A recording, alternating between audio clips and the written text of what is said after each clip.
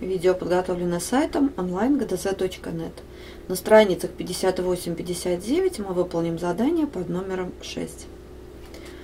Подумайте, какие экологические проблемы полупустынь и пустынь выражены этими знаками. Сформулируйте и запишите. Люди с давних пор осваивают полупустыни пустыни. Построив каналы во многие районы, провели воду. На орошаемых землях появились поля, сады, виноградники. Освоение этих районов привело к появлению экологических проблем, которые нужно решать. Оказалось, что неумеренное орошение приводит к беде. В почвах накапливается очень много соли. От этого культурные растения страдают, снижается урожай, а в некоторых местах – растения совсем не могут расти. Итак, проблема первая – засоление почв.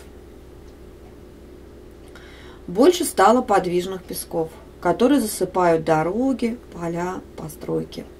А причина вот какая. Скот подолгу пасут на одних и тех же пастбищах. И животные полностью съедают и вытаптывают растения, которые закрепляют пески. Приходится проводить большую работу, чтобы снова вырастить на голых песках растения.